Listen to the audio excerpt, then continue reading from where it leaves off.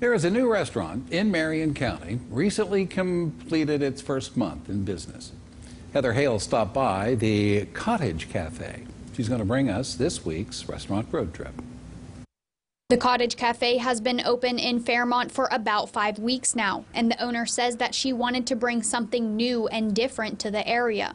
So she opened a Caribbean Jamaican restaurant. Owner Shelly Walters says she wanted to create a comfortable, cozy environment for customers to come in so they could talk, hang out, and just enjoy some good food. It's a process because we do everything, we try to do everything from scratch, so everything is more authentic.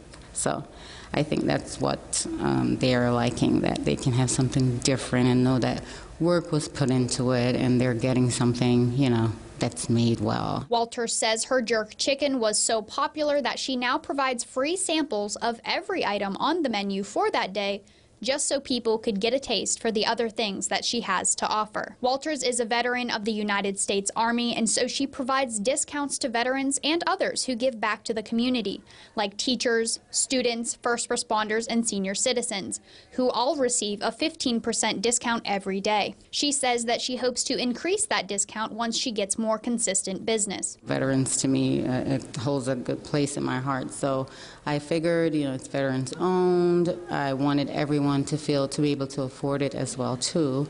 Uh, so we try to keep our price range, and we try to kind of, uh, you know, first responders, veterans, anyone that's giving back to the community. We try to help them out as well. Walters has recently added something new. Veterans can come to the Cottage Cafe for a free meal every Friday at 5 o'clock. Along with the jerk chicken, she says her curry chicken and pastries like beef patties and cocoa bread are popular menu items. The Cottage Cafe also exclusively serves Blue Mountain coffee from Jamaica. Walters says that those who have come to eat continue to come back, but others just don't know that she's there yet.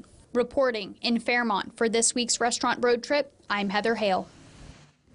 And now we'll tell you where it is and where you can find it. You can find the Cottage Cafe at 2803 Whitehall Boulevard. That, of course, in Whitehall. And, of course, any of our past stops on the restaurant road trip can still be found at over at WBOY.com.